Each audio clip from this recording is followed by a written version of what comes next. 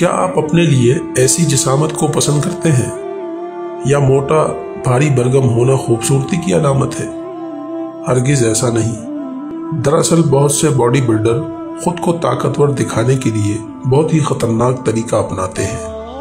अपने जिसम को सडोल और कवि बनाने के लिए इंजेक्शन का सहारा लेते हैं।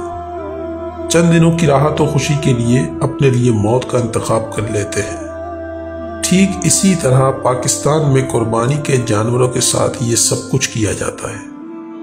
इंतहाई महँगे और कवि जसामत के हामिल जानवरों को दरअसल एक साल में न जाने कितने इंजेक्शन लगाए जाते हैं, जिसकी वजह से ये बहुत ही भारी बरगम हो जाते हैं। इनकी गर्दनों की झालर ज़मीन तक आ जाती है और बेवकूफ़ आवाम इसको खूबसूरती कहती है।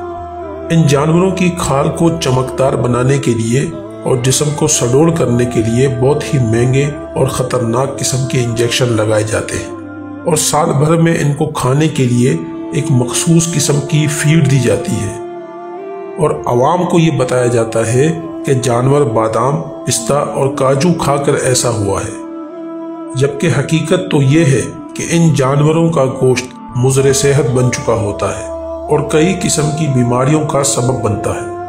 अगर किसी को इस बात में ज़र्रा बराबर भी शक हो तो इन जानवरों को चार महीने के लिए अपने घरों पर पालना शुरू कर दें। चार महीने गुजारने के बाद इनकी असली हालत आपके सामने आ जाएगी, क्योंकि इस अरसे में इंजेक्शन और फ़ीड के तमाम असरात ख़त्म हो जाएँगे और जानवर अपनी असली हालत पर आ जाएगा।